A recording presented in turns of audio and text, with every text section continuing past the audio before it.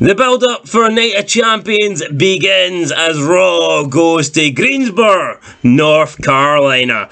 Woo! That is the good news. The bad news is Ric Flair probably will not be there. So yeah, we might be in Ric Flair's hometown, but we're no getting Ric Flair. What we are getting though is another edition of garbage, another edition of the red brand. And I know this is supposed to feel fresh. I know the brand, the draft split has just happened. But I'm looking at what's advertised for tonight and everything. It feels stale already. I'm not even sure how that can be, but legit, like two weeks after the draft, it does look like it's just a normal edition of Monday Night Raw. It looks like the same shit we've been watching for the past couple of years.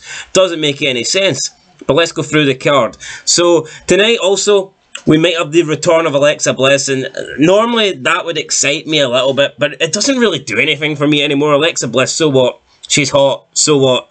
You know, so what? Yeah, she's she's attractive, but I mean, her returns have been garbage lately. I'm not really excited about the prospect of seeing Alexa Bliss return. I still think Bray Wyatt completely ruined her career, so yeah, no, good luck doing anything with Alexa Bliss when she returns. But she is apparently scheduled for Night of Champions, and then that would tell me that she's probably going to debut and return before Night of Champions, so maybe it will be tonight, because we're running out of weeks before we go to Saudi Arabia.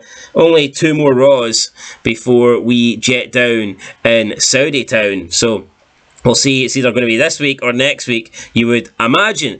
But we've got Cody Rhodes on tonight's show. He is going to respond to Brock Lesnar about the WWE Night of Champions Challenge. I mean, what is there to respond to? Cody Rhodes is obviously going to come out and ask everybody what do they want to talk about. We know what we're going to talk about. We're going to talk about Brock Lesnar, and he's going to accept it he's going to accept it. The, the whole feud for me was finished when Cody Rhodes won. It, it, it, made no sense. Cody Rhodes should not have won that match. He should have lost to Brock Lesnar. And then he needs to try and get the win back. You know, he needs to try and prove he's the underdog. He needs to prove that he can beat the beast. Uh, Brock Lesnar's already lost to Cody. So what does Cody gain now?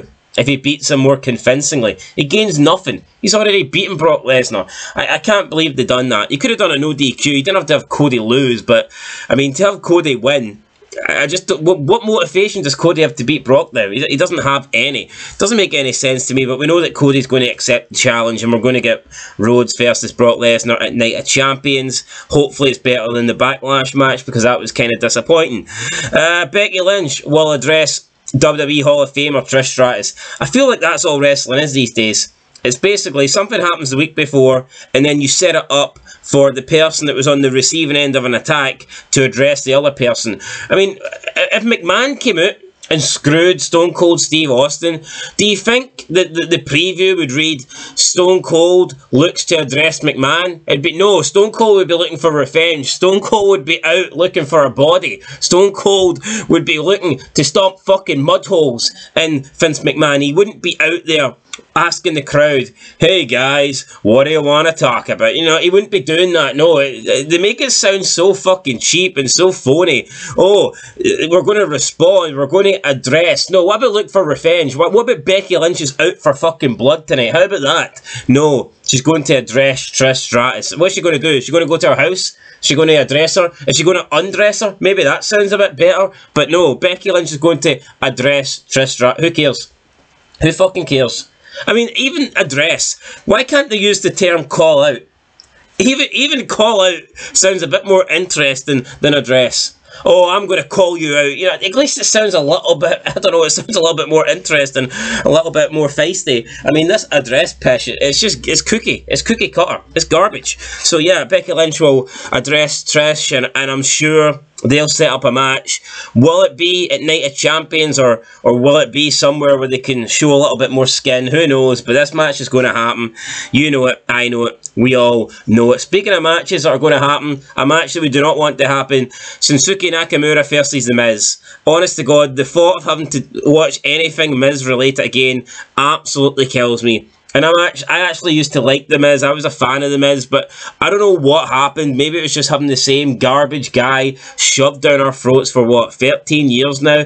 I'm just tired of The Miz. I am sick of The Miz. I feel like he's been in the company non-stop. I feel like he never takes time off. I feel like he's always there. And he's changed absolutely nothing up. I get it He had that little face run where he was, um, you know, having Flair manage him and he stole the figure four or whatever.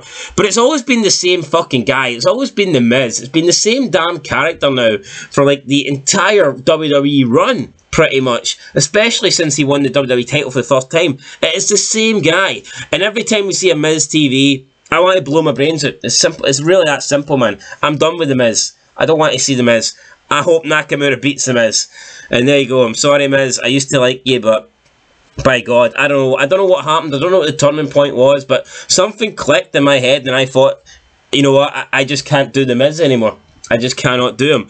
I thought the last time I thought he was okay was probably when he had the world title and he was trying to avoid Bobby Lashley. I mean, I thought that was pretty cool. I thought that was interesting. That was enjoyable. And every time they went to like the top of the hour, Adam Pearce would want the Miz to wrestle, and the Miz was coming up with an excuse not to go and face Lashley. I mean, I thought that was pretty entertaining. But ever since he, he lost it to, to Lashley, The Miz for me, double thumbs down, man. The guy, nah, I am actually sick of the guy. I don't know what it would take. I, I don't think just simply moving him to SmackDown would work. But at least it would be a new, it would be a new environment for him, you know. I just, no, I mean, hopefully he goes to Hollywood legit. None of this crap straight to DVD movies. Hopefully The Miz goes to Hollywood and he takes like five years off and then we don't have to see him because I'm sick of seeing him. Uh, we've got the WWE Women's Tag Team Champions Liv Morgan and Raquel Rodriguez defending against Chelsea Green and Sonya Deville. I mean, whichever team wins here, it doesn't really matter. These tag belts are fucking horrendous. There, there is no tag teams in the WWE. There's no female tag teams. There's no need for tag belts. And the fact that now SmackDown's got the NXT women's tag belts, it is overkill. You've got so many belts and you've got no stars to hold them. It's it's it's really sad. I mean, Liv Morgan. It wasn't even that long ago Liv Morgan was getting this big push, and she was a crazy chick who would, you know, face Ronda Rousey with like no no consideration for her health. She she thought she could go toe to toe with Ronda. She was jumping off things. You know, Liv Morgan was crazy. Liv Morgan was willing to do whatever she had to do. She'd sacrifice her body. We're supposed to believe that Liv is the next big star. Watch me, and all we did was watch her transcend into a meaningless tag team with Raquel Rodriguez, and now they're the tag team champs, but holding these belts don't mean shit. I mean, Sasha Banks and Naomi certainly didn't think that these belts mean shit. They walked out. So that's that's how important these belts are. These belts are worthless. The fact that Liv Morgan has one doesn't mean crap. I, I can take a belt out of my wardrobe right now and it means the same as Liv Morgan's belt. It means nothing. It means absolutely fuck all. So yeah, um, I would prefer to see new champions here. But I'm not sure that I don't really like the partnership of Chelsea Green and Sonya Deville. I thought Chelsea Green worked better with Carmella, but as we know, she's pregnant, she's gone, she's done. Uh, but I don't know, maybe Chelsea Green could could go solo. I just don't really like the, the combination of the two, but is what it is. Uh, WWE Intercontinental Champion Gunther makes official debut tonight as a Raw superstar. Does that mean he's going to compete? Or does that mean he's just going to turn up and look at the other two members of Imperium in disgust? Could you blame him, really? Other two members constantly lose. This is this is a this is a faction that claim the ring is sacred, and all they do is lose in the fucking ring. Isn't that making the ring less sacred? The fact that they can never win a match. I mean, why doesn't Gunther call him out in it? And I know people didn't like the whole gimmick where he would chop that Kaiser guy after he lost, but I think that actually made sense. Gunther's supposed to be the, the ring general. You know, he's supposed to be this badass. He's supposed to be this guy that takes it serious. Winning is life and death to him. So if his faction members losing all the time, that looks bad in him. So it makes sense for me to Gunther to chap the shit out of somebody. Or, or chap, slap the shit out of somebody. But they, they, they done away with that. Why, I do not know. I guess we'll see what Gunther's got to say tonight. Will he make his in-ring debut, or is he just going to come and talk on the microphone? He's not very good at talking on the microphone, so hopefully he, um, hopefully he does he, hopefully does a Jungle Boy Jack Perry and he just avoids the microphone, he runs away from it. If you don't know what I'm talking about, guys, you can check out a video I made earlier today on the channel. And last but not least, I think the only thing to address tonight is there's going to be a battle royal to determine the new number one contender to the WWE Intercontinental Champion, Gunther, for Night of Champions. So whoever wins will face Gunther at Night of Champions. One last final thing. I know we've got this World Title Tournament. It will end at Night of Champions. It's going to be Seth Rollins from Raw taking on AJ Styles from SmackDown. But I'm assuming AJ is not going to be appearing on Raw until Night of Champions, and the same with Seth Rollins. He is not going to appear on SmackDown. If that is the case, if that is the case, then why did they end the tournament so early?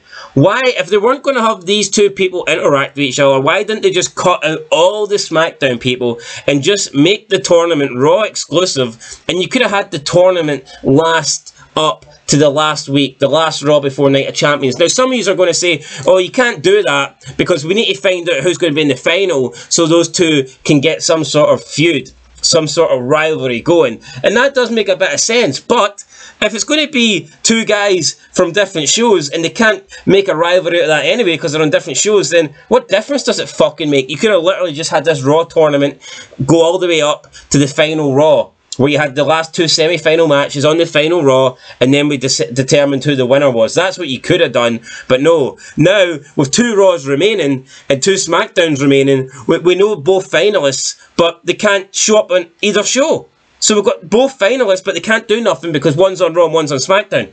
Makes absolutely no sense. I mean, even a moron can see this, but I, I guess WWE's full of fucking morons that are blind. I don't know what to tell you. That's your Raw preview, guys. I'm not looking excited for Raw. I mean, wrestling is dead. Wrestling is absolutely dead. We're, what, six weeks after WrestleMania, and there, there's nothing to talk about. I probably, nothing will probably get exciting until, what, Royal Rumble time again. Maybe Cena will come back for SummerSlam. I think Edge said he's going to retire around SummerSlam, which I hope is not true, but that appears to be the date he was given. Uh, it's just not interesting, guys. What is there to like about wrestling? This draft has just happened and already it's dead.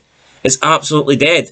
I mean, I'm a little bit. I would be intrigued if SmackDown, if Roman Reigns actually maybe turned up on SmackDown on a weekly basis and we could actually see a title picture, then then maybe there'd be something interesting. But there's not. We don't get to see Edge challenge for the belt. We don't get to see Bobby Lashley challenge for the belt because Roman Reigns can't be bothered to show up. And now it turns out when he does show up, he's going to challenge for the tag team titles. He's not even going to defend his belt at Night of Champions. Like, what a joke. Roman Reigns is actually working a show, but we're not getting him defending the belt because they probably think, well, we've got the world title belt being crowned at Night of Champions, so we don't need the other belt. Is that what they're going to do going forward? They're only going to give us one title match per pay per view?